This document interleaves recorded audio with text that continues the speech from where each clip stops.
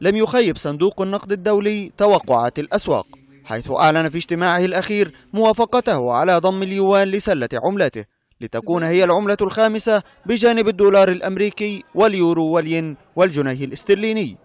قرار اعتبرته الأسواق انتصارا كبيرا للدبلوماسية الصينية في فرض نفسها على المجتمع الدولي كامبراطورية اقتصادية عظمى. أما على الجانب الاقتصادي فهذا القرار سيمكن اليوان من لعب دور أكبر كعملة احتياط لدى البنوك المركزية بجانب الدولار الأمريكي وباقي عملات سلة صندوق النقد. لكن في عالم المال والأعمال تبقى السيولة هي الكلمة السحرية والمعيار الأهم والوحيد في الكثير من الأحيان. ومن هنا يأتي الجدل الرئيسي بشأن اليوان كعملة احتياط دولية.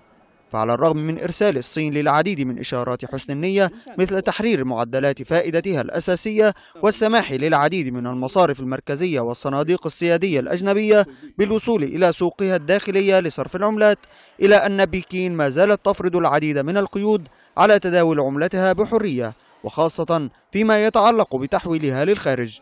قيود تجعل العديد من المستثمرين والمؤسسات تنظر بعين الشك إلى اليوان كعملة احتياطي. ولذلك ستبقى الأعين في الأشهر القادمة على الصين وإصلاحاتها المالية. وذلك لمعرفة مدى جدوى ضم اليوان لسلة عملات صندوق النقد الدولي في أكتوبر 2016